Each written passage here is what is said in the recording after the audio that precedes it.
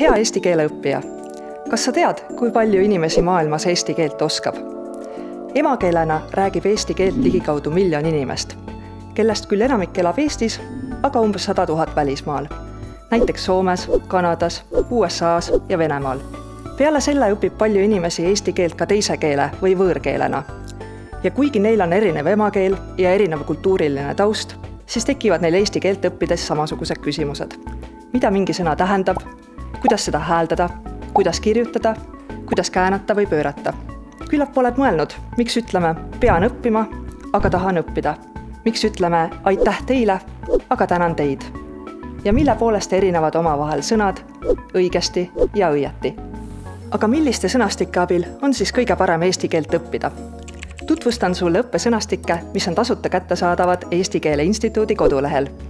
meie kodulehel on kokku kaheksa keele sõnaraamatud sealhulgas eesti-inglise, eesti-vene, eesti-norra ja eesti-läti sõnaraamat. algajale keeleõppijale pakume kakskeelseid sõnaraamatuid, mille abil on väga hea eesti keelt tõlkida ja mis aitavad sellest aru saada. natukene kaugemale jõudnud keeleõppijad võiksid aga kasutada meie eesti keele põhisõnavara sõnastikku. meie sõnastikku on väga lihtne kasutada. kõik sõnad on ära seletatud lihtsas keeles ja seletustes kasutasime ainult sõnu, mis on sõnastikus endas olemas. Nii saad tundmatu sõna tähenduse alati järele vaadata. ja kui sulle on tundunud, et eesti keel on üks keerulisemaid keeli maailmas, kus on neliteist käänet, siis see sõnastik aitab sind. siit saad järele vaadata sõnade kõiki vorme ehk kõik võimalused, kuidas neid käänata ja pöörata. lisaks pakub sõnastik sulle nii-öelda valmis keeletükke ehk esitab sageli koos esinevaid sõnu. näiteks sõna lill juures saad kohe ära õppida ühendid lilli kastma, lilli istutama, lilli korjama ja lilli kinkima. sellised tükid on kasulik koos ära õppida, muidu tekivad vead. näiteks vene keeles tähendab sõna tjomnõi nii tumedat kui pimedat, siis eesti keeles ütleme alati tumedad juuksed ja pimedad juuksed oleks viga. ja näiteks eesti keeles on täiesti normaalne öelda tugev vihm aga inglise keeles see nii ei ole. seal on tavaline heavy rain, mitte strong rain. meie sõnastik aitabki sul valida väljendeid, millega saad oma mõtteid loomulikul moel edasi anda. Nii et sinu jutt või tekst sarnaneb emakeelse kõneleja omale. samuti on selgelt välja toodud see, millist grammatilist vormi nõuab mingi sõna temaga koos esinevatelt sõnadelt. näiteks armastab, mida teha, mitte mida tegema ja armastab keda mida niisiis armastab muusikat, armastab lapsi ja armastab laulda.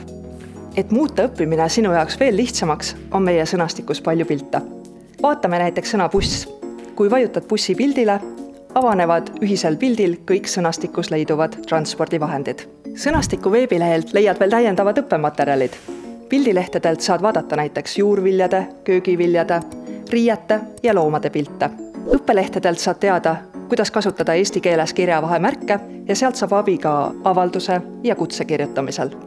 lehel saad ennast proovile panna ka sõnaseletusmängus. kui vajutad nupule Mängime, ilmuvad ekraanile sõnade seletused. Näiteks, mis sõna see on, mille esimene tähendus on varraste abil lõngast riideid valmistama ja teine tähendus ämbliku kohta võrku valmistama. saame piiluda vastust. vastus on kuduma ja lõpetuseks veel üks oluline ja põnev uuendus.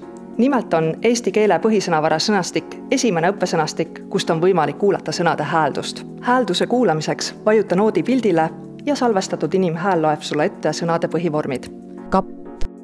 Kapp, kappi, kappi. kõiki näitelauseid on võimalik kuulata robothääle esituses. tuleb lihtsalt külje pealt robot sisse lülitada ja vajutada kõlari pildile. kasutan sõnastikke sageli. head kasutamist